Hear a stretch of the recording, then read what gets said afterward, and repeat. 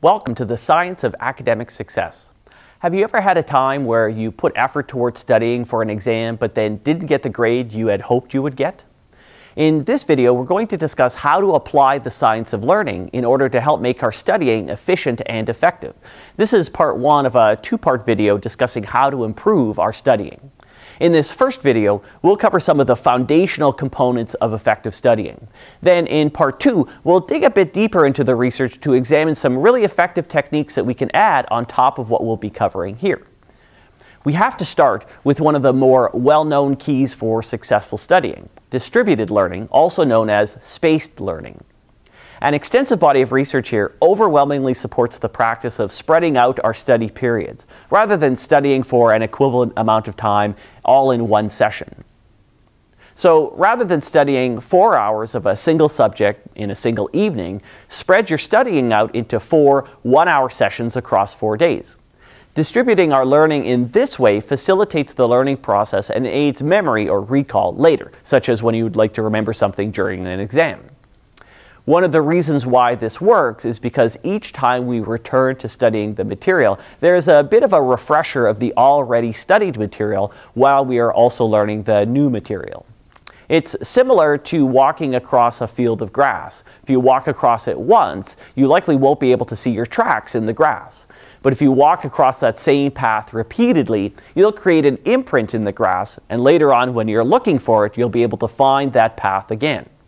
Now, in order to be able to do this, we need to be proactive in our studying. This means that you have to make plans to study in advance and not leave all of your studying for the night before the exam. That sounds pretty obvious, yet we often struggle to do this. To help you motivate yourself to plan for incorporating distributed learning into your studying, remember the fact that this is a well-researched key for successful studying. Use a calendar and book your study times into your calendar. To go further with this idea, if you're trying to study for multiple exams, the research on distributed learning indicates that studying one subject for a long period each day isn't effective. Instead, the research supports the idea of studying each subject for a shorter period of time across multiple days. Another key for successful studying is to focus your attention while studying. The research on multitasking is pretty clear. We do not perform well at a task when we are distracted. We are less efficient when we try to multitask. This applies to our study spaces as well as to our learning in the classroom. For your study space, ensure to remove any distractors. Put your phone out of sight and anything else that might distract your attention. In addition, it is helpful to have a dedicated study location. Studying in your bedroom is not ideal because there are often too many things that are competing for your attention, i.e. the bed. If you don't have a dedicated study space at home, then you might want to consider going to the library for your study time. We also want to work on training our ability to engage in focused attention. Just like getting exercise, we can also exercise our ability to focus our attention. One way to do this is through an easy method called the Pomodoro technique, developed by Francesco Cirillo. The name of this technique comes from a timer in the shape of a tomato, a pomodoro, that we would use to time the cooking of pasta. In this studying technique, we set the timer for 25 minutes, and during this 25 minute period, we engage in focused studying. When the time is up, we set the timer for five minutes and we allow ourselves five minutes of a mental break, no studying. When that five minutes is done, we are back to 25 minutes of focused studying. Repeat this until you've reached your study goal for that session. As we develop our ability to engage in focused attention, we can increase the length of the study time, 25 to 30 to 35 minutes, etc.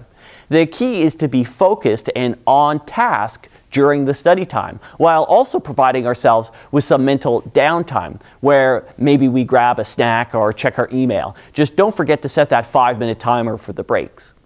Using this sort of technique would allow us to get through a longer period of sustained study time, because during this time, we are giving ourselves an opportunity for a mental cool down. Another key for effective studying is to use active study techniques and avoid passive techniques when reading material, uh, avoid merely highlighting or underlining content in the text. These are very passive ways of studying. And although reading the material is a necessary part of the studying process, avoid going back and merely rereading the material, which is another passive technique. There are a number of ways to actively engage with your study material. We're going to get more specific in a moment, but these include things such as writing the material in your own words or anything where you are creating, writing, processing, elaborating, or quizzing. Okay, let's get specific. You may have heard of the SQ3R technique, sometimes also called the SQ4R technique, originally developed by Francis Robinson.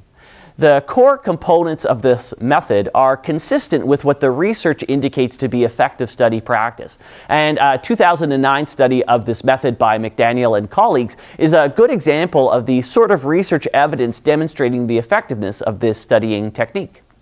The acronym SQ3R stands for Survey, Question, Read, Recite, and Review.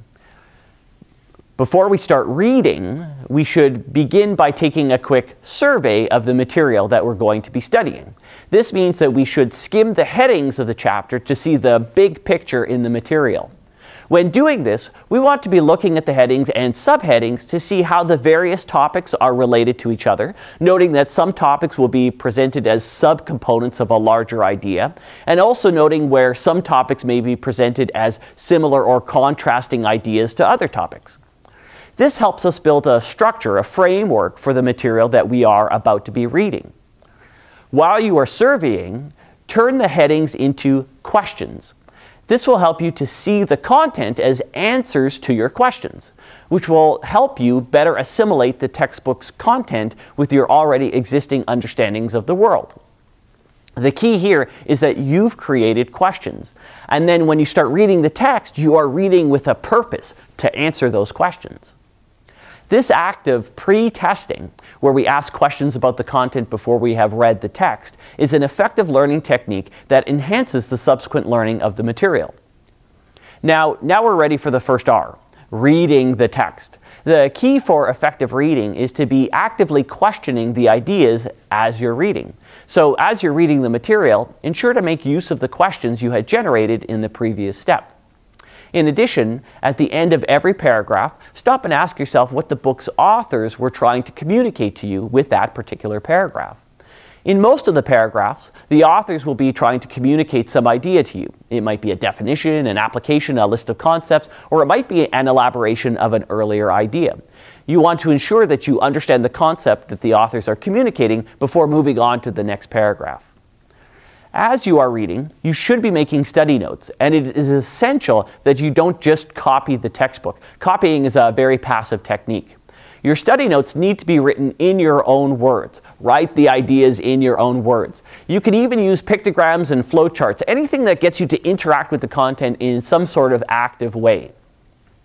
The second R in the SQ3R sometimes stands for retrieve, uh, but in the SQ4R version, this is sometimes separated into recite and reflect.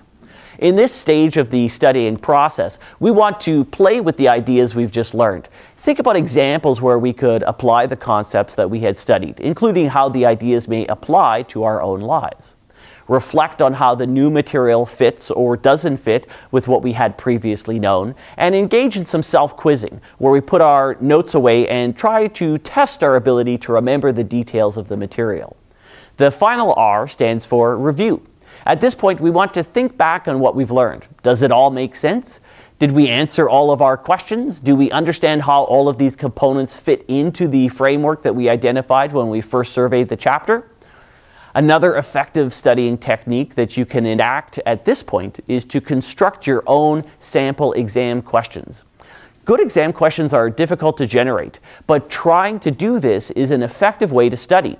It's forcing you to think about the content in a way that is similar to how you'll be thinking during the exam. Now, embedded within this SQ3R discussion were a few really valuable studying techniques that I want to highlight to make sure that we see how to implement these evidence-based success factors into our own studying. You can find this part of the discussion in part two of this video. Thanks for watching.